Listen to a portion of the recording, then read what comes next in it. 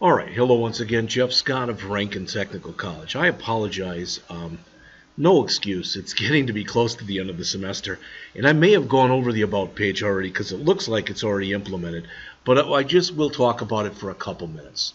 Now, in our textbook, basically the HTML was just adding an ID to our unordered list that we called image list and setting up on the bottom an H2 with an ID of caption and a um, p tag with an image with an ID of main image. So let's see if I did all that. So this is my about page.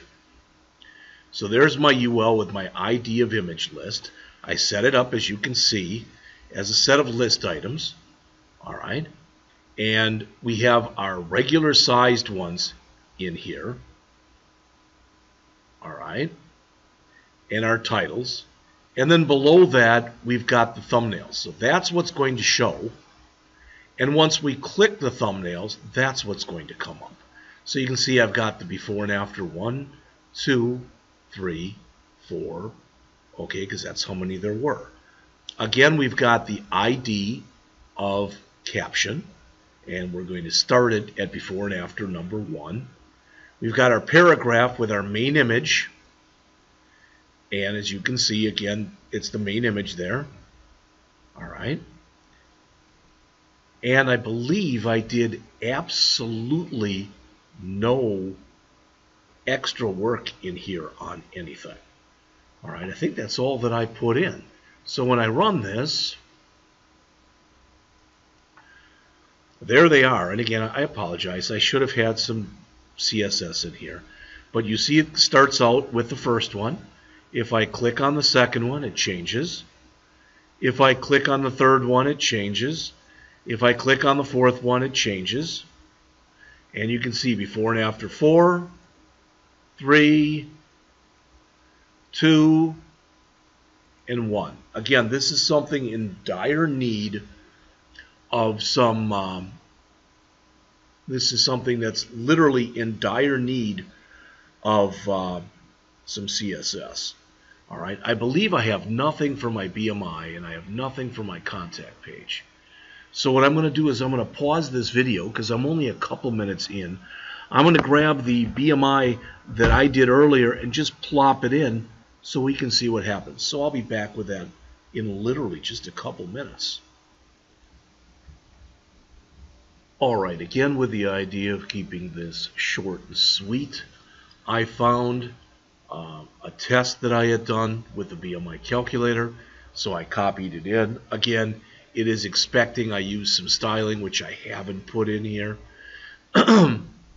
and um, probably considering this is a form, it'll look a little better with a couple line breaks in here. But it's a very simple form, height, weight, BMI, and status. And it uses the BMI calculator. Again, this is one that we had built in class.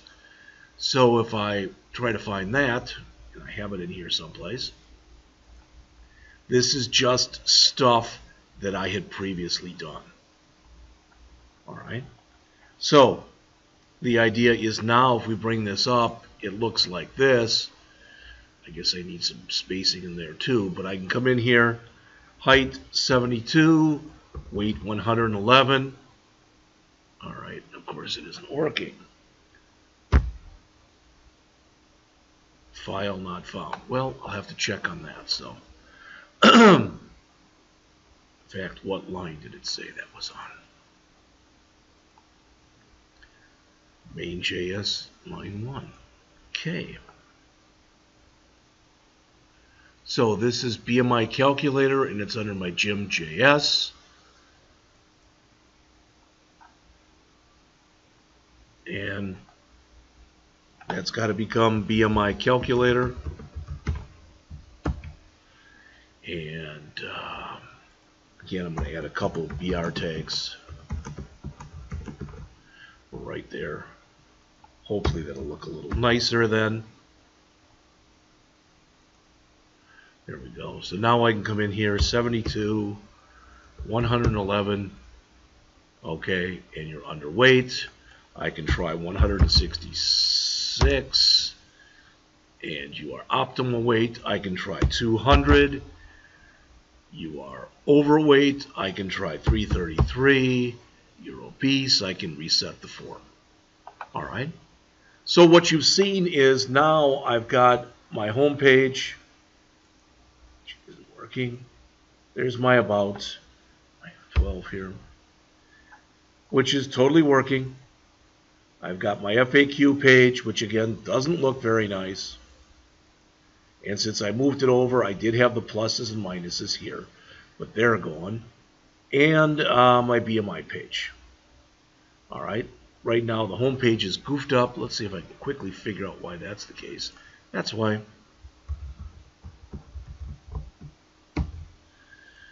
All right, so that'd be from.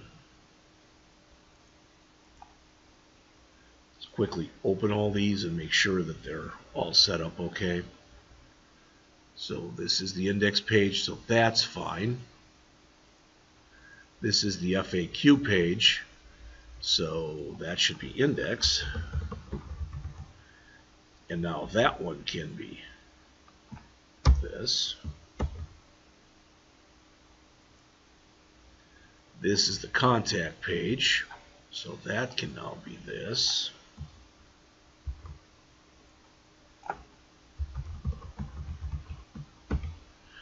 Keep that one open for just a minute. So hopefully I've got everything. I don't know if I do or not. This is the BMI page. This one can now be like this. Let's just quickly see if I can iterate between the different pages. Home, good. Yep, that's working. About, that's working. FAQ, BMI. So the only thing I have not done right now is the contact page. All right. I'm only at seven minutes, so what I'm going to do is I'm going to um, stop for just a second and drop in the contact page that I had given in class. So I'll be right back with that in just a minute. All right, I think rather than uh, giving you, because I did come in here and I did add the form, and you can see in all its ugliness. So I now have home, about, FAQ, BMI, and contact with no HTML, I'm sorry, with no CSS in it. This is an exercise I had that I created for my class. And you can see I put in social security number, first name, last name, address, city, state, and I grabbed this from a code snippet. It's got all 50 states and the District of Columbia. Zip code, cell phone, email address, desired shift, etc. If I click right now, you can see what I get. It tells me all the fields that are required. All right. And if I start putting stuff in, for instance, I'm going to come in here and I'm going to put in just a 1. I'll put in a 1 for everything.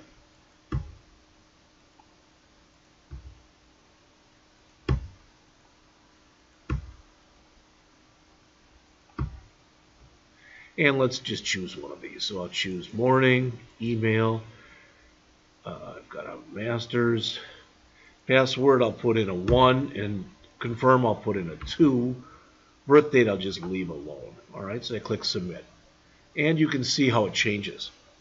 It says the social security number must be in this in the regular format. All right, boom, I put that in. And now that goes away. First name and last name must be alpha only. Click that. Now those have gone away. Notice since I didn't select a state, it's telling me to select one. So I'll come in here and I'll use Missouri. All right, I'm going to come in here and I'm going to say 755 North Parr Road, City, Wentzville. All right, zip code. Well, am I still getting those errors? Yes zip code, cell phone, and email address.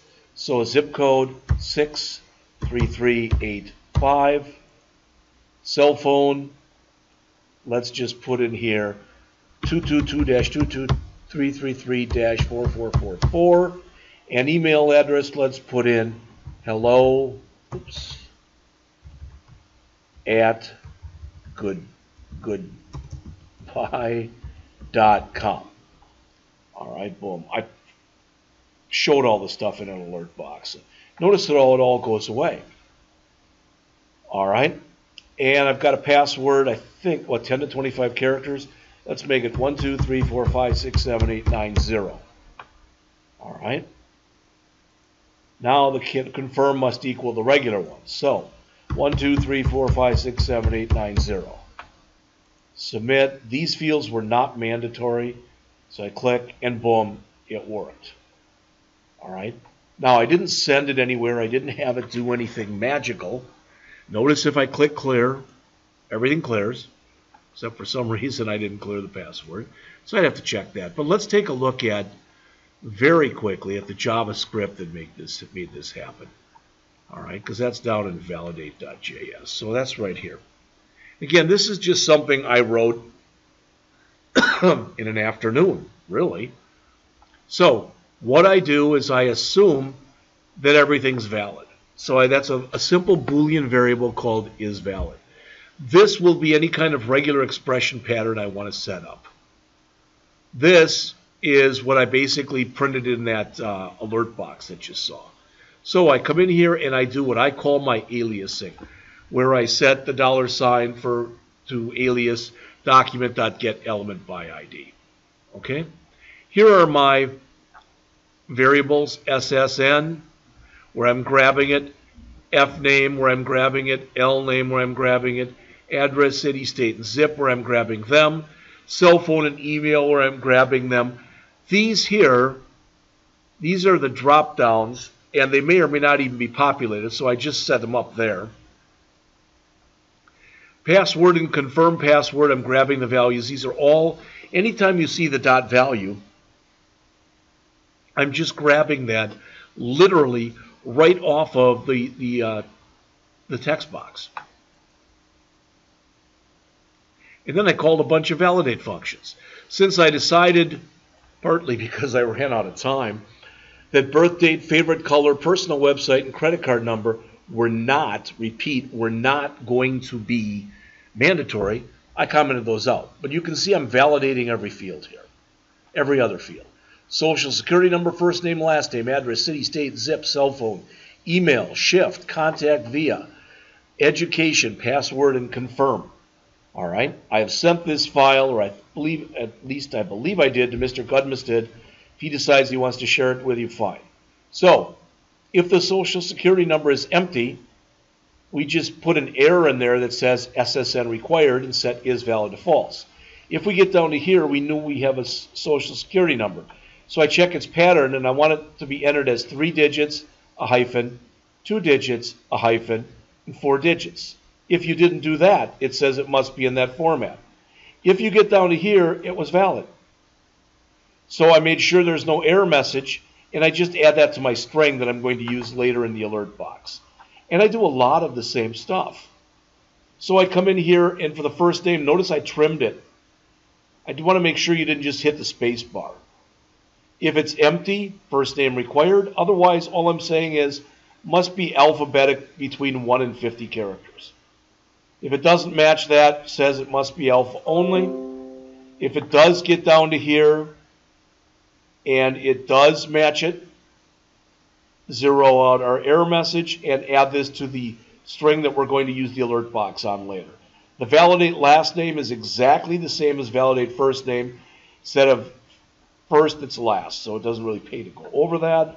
The address, all that I said in here was if it's empty because address is a real hard thing to calculate. Sometimes they start with numbers, sometimes they start with letters. They could have goofy letters in there, depending. So for address and for city, all I basically checked for was to make sure that they weren't empty.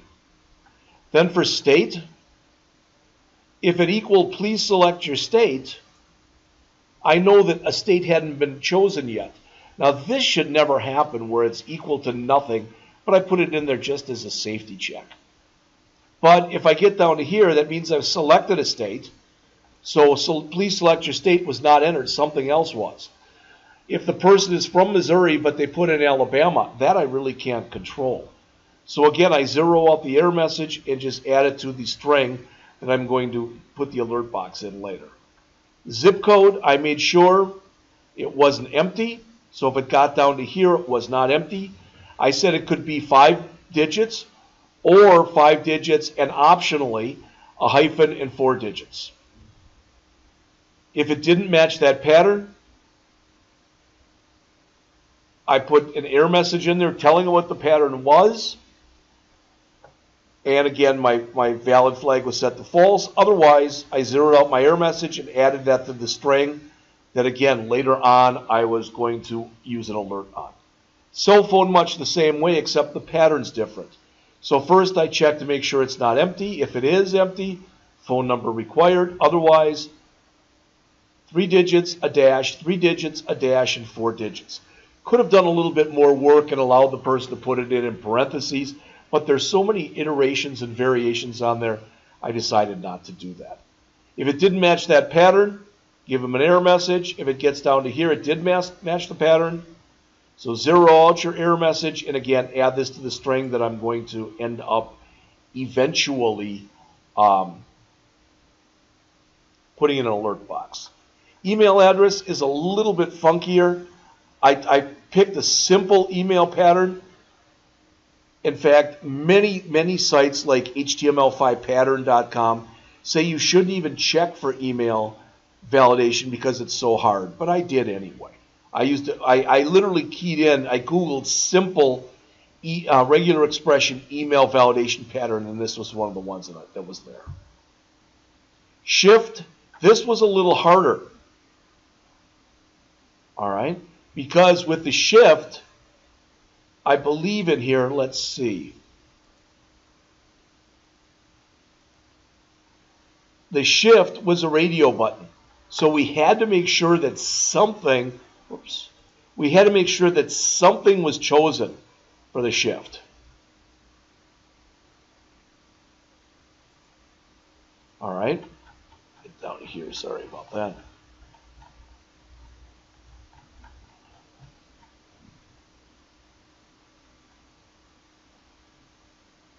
So we wanted to make sure something was checked. If nothing was checked, and that was the checks that were put up here, you wanted to put an error message that said shift preference required. Otherwise, we had to grab the one that was checked. Okay, and we added that to the we were going to print out later. Now it's different with the contact via because with radio buttons only one can be selected, but with a contact via, all right, with the contact via, the difference is you can you've got check boxes so multiple can be selected. So I checked here to see what was selected and I said if nothing was selected contact via is required otherwise we just added it to our string. Education again was very similar to what we had for shift. I used the same code probably should have written this as a, a function because I repeated a lot of it. All right. Password, all I checked for was a length, if the length was less than 10 or greater than 25, I gave them an error. Now, we could have put a lot of checks in here. A lot of times you'll see that there needs to be one capital letter, a special character, etc. I didn't want to do that. And for the confirm, basically I wanted to make sure there was something in there, and if there was, I just compared whatever you typed in with what we put in the password field. If they weren't the same, it gave them an error message, otherwise it was accepted. This cleared everything, as you can see. Also set the asterisk back for the error messages.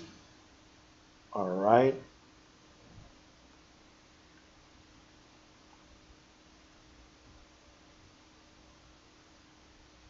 That was pretty much it. So, I kind of gave you a mixed bag, in other words. You were able to look if you looked in here, and I purposely did it like this. I really and truly did setting it up like this with not having anything basically in here, okay? And then putting in the about, the FAQ, the BMI, and the contact. Why? Because this is your project. I wanted you to have your own individual stamp on it. I hope that uh, you got something out of this. Thanks.